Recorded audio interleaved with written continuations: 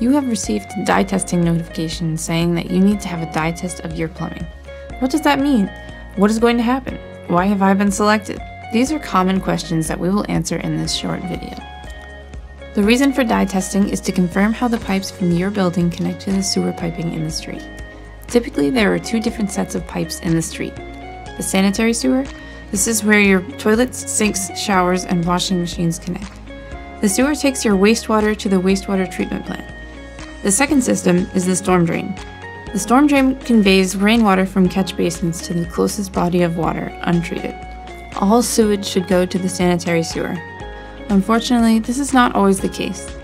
The dye test will allow the crew to determine which system your building connects to. It will also show if there are infrastructural issues with the pipes leaving your building or in the street. When the crew comes to conduct the test, what do they need to do? One person will stay outside of the building. They will open the manholes that cover the sewer and the storm drain.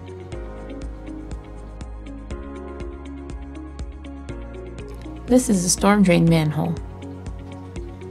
This is a sewer manhole.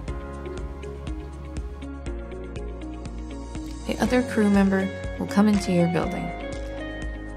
They will start out by taking a look at the plumbing in your basement. They are going to be looking for your sanitary stack. This is a cast iron or PVC like the one shown here, sewer stack for this building. They will look to determine if all of the pipes from your building connect to the same pipe. If they do, then they will only test one fixture in the building. If there are multiple pipes leaving the building, or if the crew is unable to see how your plumbing connects, they will need to test multiple fixtures. Don't worry if you have a finished basement, or if you don't have access to the basement. These situations are common. The crew will use their judgment to determine what needs to be tested. The dye used is non-toxic tracing dye. It's basically very strong food coloring. It is safe and will not cause any damage or staining, even if it's slow to drain, as you can see from the sink that we tested. The dye will turn the water bright pink or bright yellow. If the crew needs to, they will flush your toilet a number of times or run water in your sink for a few minutes so that the dye leaves your building. The crew member out in the street will be checking both the sewer and the drain. They will be able to see the dye flow through the pipes like this.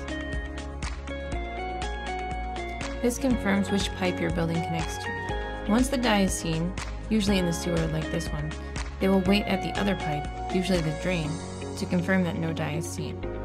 If dye is seen in the sewer and the drain, this would indicate an infrastructure problem. Typically, the crew member will be inside of your building for less than 10 minutes.